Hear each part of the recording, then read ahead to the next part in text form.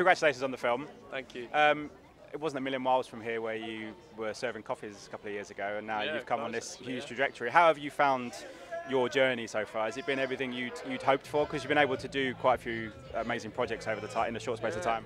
No, it's been brilliant. It's been, uh, I mean, a massive surprise for me. I never expected any of this, um, so it's been fantastic to to do. I just feel really lucky to to have been able to do it. Really, um, definitely overwhelming at times, but yeah, it's been amazing. You not forgot how to make a good latte. I hope that's always a good skill, right? You know what? I went back to try and do one like a year ago, uh, or maybe a bit more. I went to, to try and make. My friend works at a coffee shop, and I went. I was like, let me let me try and make one behind it.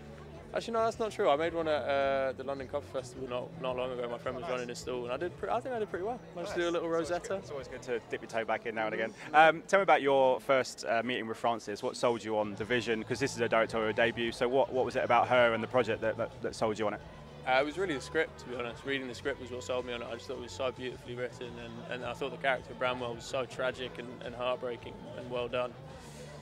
Um, and then meeting Frances, I was just sold straight away in the in the audition. Just hearing her kind of passion for it and how, how much she'd invested in it, um, and it, it never faltered. You know, throughout the filming, she was just so passionate and hardworking and enthusiastic. You've been lucky to work with some great ensembles in a short space of time. How did this one measure up to the ones that you've been with before? Because it's a fantastic ensemble. It's a brilliant, yeah. I mean, it's, a, it's an amazing cast. I couldn't have asked for, for better people to be opposite. Um, it's been brilliant. I mean, we we sort of filmed towards the end of um, lockdown in 2021, and we so it meant that we, we were in a house together. We bubbled up, and we were in this big sort of stately home up north together, and that was it was amazing.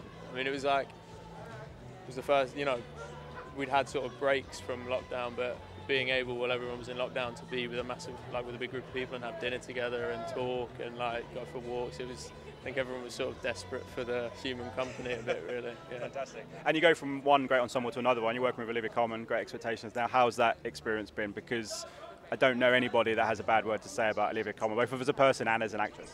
Yeah, not at all. She's incredible. I mean, she's, she's an amazing actress, like amazing to just watch in a scene. Um, but she's also just, she's so nice. Hilarious as well. Really when, funny. when can we expect to see that? I'm not too sure, to be honest. Yeah.